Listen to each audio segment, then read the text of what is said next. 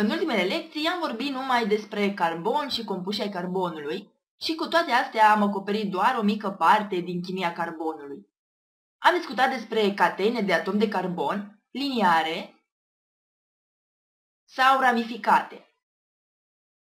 Lanțurile sau catenele de atom de carbon sunt toate interesante și foarte, foarte importante pentru industrie, însă nu sunt singurul motiv pentru care carbonului se dă atât de multă importanță. Pe lângă lanțuri, atomii de carbon pot forma și inele sau, după cum le numesc chimiștii, structuri ciclice. Dacă aceste structuri ciclice conțin numărul potrivit de atom de carbon, iar legăturile duble sunt plasate într-un anume fel, atunci ele se vor comporta surprinzător de interesant și diferit față de compușii organici aciclici. Compușii formați din aceste inele de carbon se numesc hidrocarburi aromatice și nu întâmplător. Vanilia, scorțișoara, lămâia, toate acestea și multe altele își datorează mirosul sau aroma compușilor aromatici. Inelele de carbon ale compușilor aromatici se leagă de receptorii noștri olfactivi și transmit mesaje către creier. Mesaje precum plăcinta asta miroase delicios sau, din contră, mesaje precum hmm, cred că e cazul să arunc ciorba de acum trei săptămâni. Structuri ciclice ale carbonului sunt și ciclohexanul sau ciclopentena. Însă acesta este un alcan ciclic, iar aceasta este o alchenă ciclică. Aceștia nu sunt compuși aromatici. Să vedem ce au atât de special hidrocarburile aromatice. În cazul acestei clase de compuși organici, carbonul are unul din acele comportamente spectaculoase care chiar și în ziua de azi încă ridică semne de întrebare, și anume formează hidrocarburi ciclice care conțin structuri de rezonanță. Deci lucrurile devin din ce în ce mai interesante. În chimie, prin rezonanță, ne referim la situațiile în care există mai mult decât un singur model corect de distribuție a electronilor într-o moleculă. Este vorba despre prezența în moleculă a unor electroni delocalizați. Electronii delocalizați nu sunt asociați cu un singur atom sau cu o singură legătură covalentă, ci acești electroni se află într-un singur orbital, care se extinde peste mai mulți atomi adiaceni. Asta face imposibilă reprezentarea distribuției electronilor printr-o singură structură Lewis, de aceea ne folosim de structuri de rezonanță, care se mai numesc și structuri limită. Structura reală a acestor compuși este o medie a tuturor structurilor Lewis pe care le putem noi desena.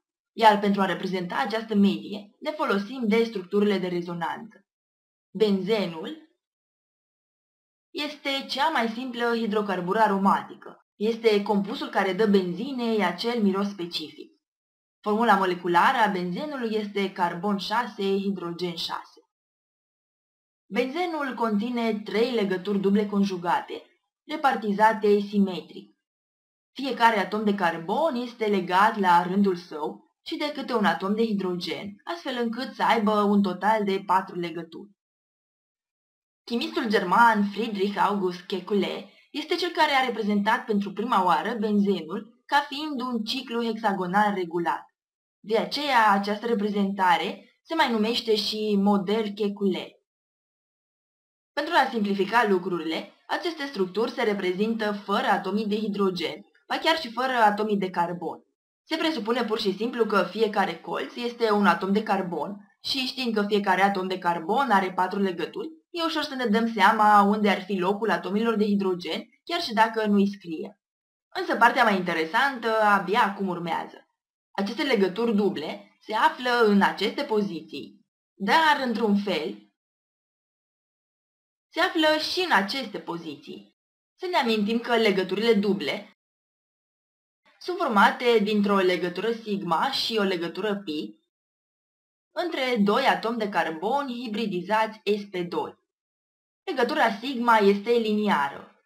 În schimb, în cazul legăturii pi, e nevoie de orbitalii p nehibridizați, care sunt perpendiculari pe planul legăturilor sigma, cu un lob deasupra planului și un lob sub plan. Aceasta este reprezentarea celor șase orbitali P de la cei șase atomi de carbon din structura benzenului.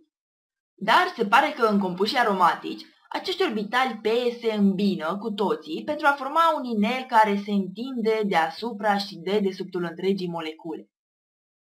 Electronii delocalizați sunt distribuiți în acest inel, care arată ca o gogoașă, deasupra și sub molecula de benzen.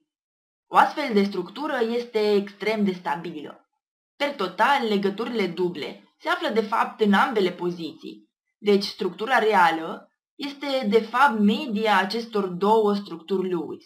De aceea le numim formule de rezonanță și pentru a reprezenta rezonanța folosim o săgeată cu două capete. De obicei, pentru a arăta că legăturile duble nu se află într-un singur loc, se folosește această reprezentare cu un cerc în centrul moleculei, care semnifică distribuția electronilor în jurul acelui orbital sub formă de gogoașă din molecula de benzen. Așadar, aceste legături duble nu sunt chiar duble. S-a stabilit că între doi atomi de carbon din inelul benzenic se află un număr de 1,5 legături. Deci nu e o legătură dublă, ci numai o legătură și jumătate. Deci această catenă ciclică este benzenul. El se mai numește nucleu benzenic sau inel benzenic.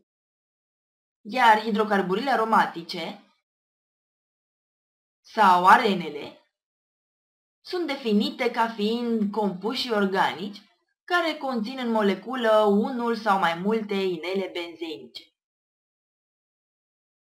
După numărul de nuclee benzenice, arenele se împart în arene mononucleare și arene polinucleare. Arenele mononucleare sunt cele care conțin un singur inel benzenic. Ele pot fi fără catenă laterală și singura arenă mononucleară fără catenă laterală este benzenul, sau ele pot avea catenă laterală. Atomii de hidrogen din nucleul benzenic pot fi și ei substituiți cu unul sau mai mulți radicali alchili. Arenele cu catenă laterală se numesc alchili benzeni sau fenilalcani. Asta deoarece radicalul carbon 6, hidrogen 5 se numește fenil. Câteva exemple de radicali benzenici monosubstituiți sunt următoarele. Metilbenzenul. Acest compus se mai numește uzual și toluen, deoarece a fost izolat pentru prima oară din balsamul de tolu, un arbore întâlnit în pădurile sud-americane. Deci vedem că în acest caz un atom de hidrogen a fost substituit de un radical metil. Acesta este etilbenzenul, iar acest compus se numește N-propilbenzen. Dacă radicalul fenil se leagă de al doilea atom al unei catene de propan, avem izopropilbenzenul, care se mai numește uzual și cumen. Radicalii din catenele laterale pot fi și nesaturați. Este cazul etenilbenzenului, după cum știm, radicalul etenil este cunoscut și sub denumirea de vinil. Deci acest compus se mai numește și vinil benzen. Și are chiar și o a treia denumire, și anume stiren. Denumirea hidrocarburilor aromatice se face tot conform regulilor UPAC, însă arenele cu cele mai multe aplicații practice au și denumiri uzuale, după cum am văzut că e cazul toluenului sau stirenului. Dacă benzenul este substituit cu doi sau mai mulți radicali diferiți, numerotarea și denumirea acestora se face în ordine alfabetică, respectând aceleași reguli ca și hidrocarburile aciclice. În cazul derivațiilor disubstituiți ai benzenului, pozițiile substituenților se marchează prin cifre sau folosind niște prefixe specifice și anume orto, meta și para. Spre exemplu, cei trei derivați dimetilbenzen, numiți uzual și xileni, sunt 1,2 dimetilbenzenul sau ortoxilenul, 1,3-dimetilbenzenul sau metaxilenul și 1,4-dimetilbenzenul sau paraxilenul. Arenele polinucleare conțin două sau mai multe nuclee benzenice. Aceste nuclee benzenice pot fi condensate, așa cum este cazul acestui compus, numit naftalen, dar pe care îl cunoaștem cu toții sub denumirea de naftalină. Alte exemple sunt antracenul, care este probabil colorantul care dă culoare albastră a blugilor, și o altă arenă polinucleară condensată este fenantrenul. Nucleele benzenice din arenele polinucleare pot fi și izolate. Este cazul difenilului sau al difenilmetanului. Hidrocarburile aromatice mononucleare sunt substanțe lichide la temperatura camerei. Punctele de fierbere cresc odată cu creșterea maselor moleculare. Hidrocarburile aromatice polinucleare sunt substanțe solide, cristalizate la temperatura camerei. Arenele sunt insolubile în apă, dar sunt solubile în solvenți organici precum cloroformul. E important să știm că vaporii benzenului sunt toxici, benzenul fiind o substanță cancerigenă. Arenele polinucleare cu inele benzenice condensate sunt și ele substanțe cancerigene. Benzopirenul, numit mai precis benzoapiren, este una dintre cele mai cancerigene hidrocarburi aromatice. Benzopirenul se formează oricând un compus organic suferă o reacție de ardere incompletă.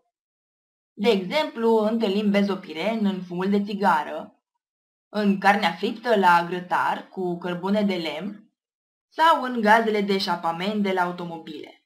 Deci, iată câteva situații pe care ar trebui să le evităm pentru a nu intra prea mult în contact cu acest compus.